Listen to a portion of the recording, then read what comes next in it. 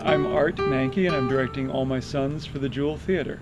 More often than not, I get assigned large cast plays like Shakespeare and there's so many technical requirements and it's in another country and you have accents or there's music and dancing and sword fights or those are the kind of plays that, that uh, I, I quite often get assigned.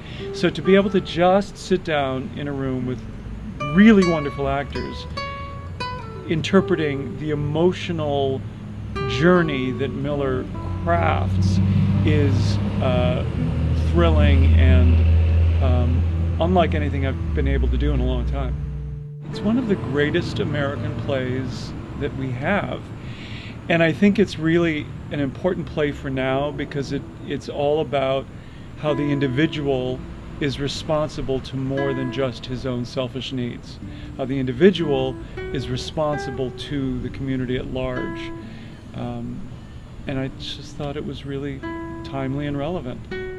The thing that is most surprising about this play is the way Miller sets you off on a roller coaster ride and you have no idea where it's going. So from the get-go, it feels like the lightest, sunniest, most wonderful all-American town, and then it starts doing this. And there are comic moments and touching moments and heartfelt moments and a young couple falls in love and before you know it you're like going down the rabbit hole into the the uh, into this minefield of uh, dramatic tension that carries you all the way through to the end.